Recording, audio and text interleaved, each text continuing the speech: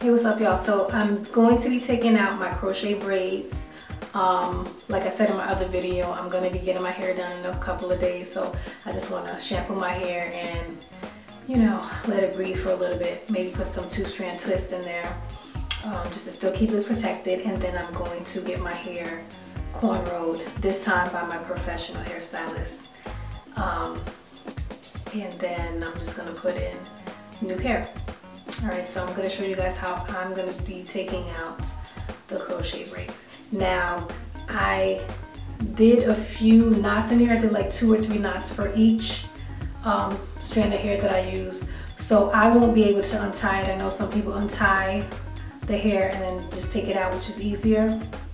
Um, but because I did two or three knots, I'm definitely gonna have to just cut it. So what you're gonna be doing is just cutting right above the knots you cut it and then you're going to just take the rest of the hair out from around your cornrow and just do each, you know, set of hair and that's it. And then you're done. So I'm gonna show you guys how I do the first two or three and then get started.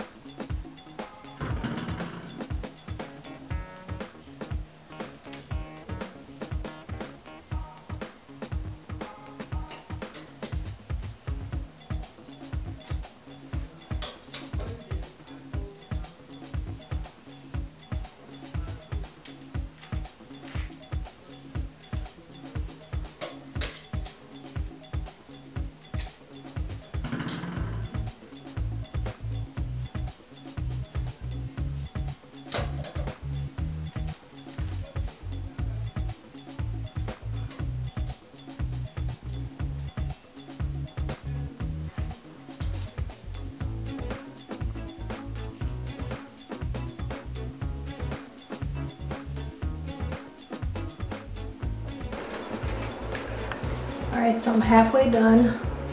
Um, it only took about maybe like, let me see, like eight, ten minutes to get out half of the hair. And as you can see, my hair has grown. So that's good.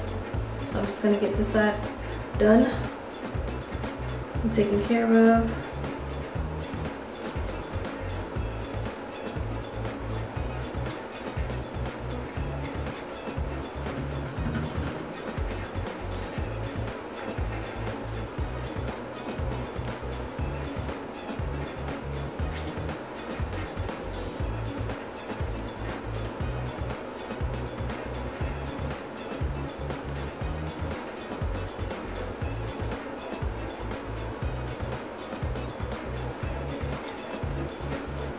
All right, so I have mostly all the hair done. I see a few pieces here and there that I need to get out like that. Um, and then I'm gonna take out the cornrows and wash my hair. So it really took about no more than 25 minutes, honestly, to get all of this out. Um, so it's pretty easy. And I think next time I'm just gonna, I'm just gonna tie it like once or twice so that I could just easily take it out. I think some of them were a little harder to take out that had like three knots on them. I might have even done four for some. Um, so yeah, mostly taken out. I'm gonna take this out, wash my hair, and that's it and get ready for my two strands. All right, so I combed out my hair. Um, there were a few knots here and there in there, so I just combed that out. Um, make sure you comb out your hair before you go in the shower and wash it. So now I'm just gonna wash it and I'm gonna style it. So I put some Shea Moisture Coconut Hibiscus Curl and Style Milk just to kind of moisturize my hair. Um, I washed it and I conditioned it in the shower. So now I'm just gonna, um, now that I put the um, the curl and style milk, I'm going to add just a little bit of Eco Styler just to the front part where my headband is going to be. Um, my headband is an old stocking that I love to use because it grips really well. I'm just going to wrap it around. So I just put the Eco Styler just a little bit on the edges and kind of put it in smoothly with my hands. You can use a brush too um, if you need to. Kind of gives it like a wavy pattern, at least for me. Comb the back too. You, you could put gel in the back if you want. Um.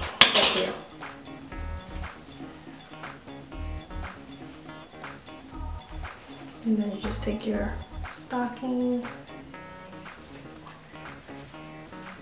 I tie it once and just kind of situate it where I want it to be. If you want like a low afro, or if you want more like a afro pony.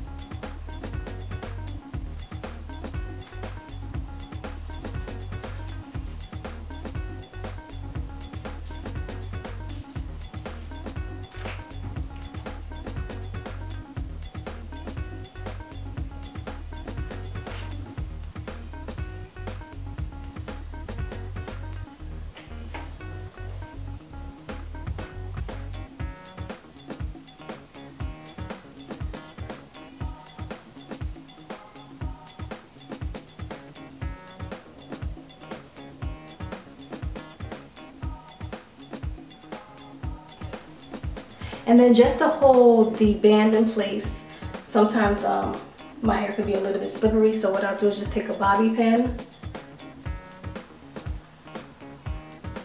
Can't really see it, but a bobby pin.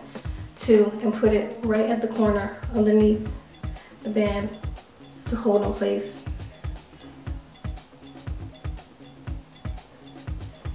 Because you don't want it to slip up and that's it.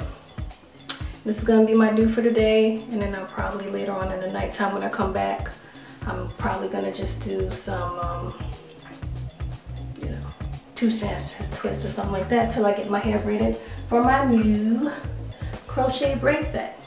All right? All right, everybody have a good day. Peace.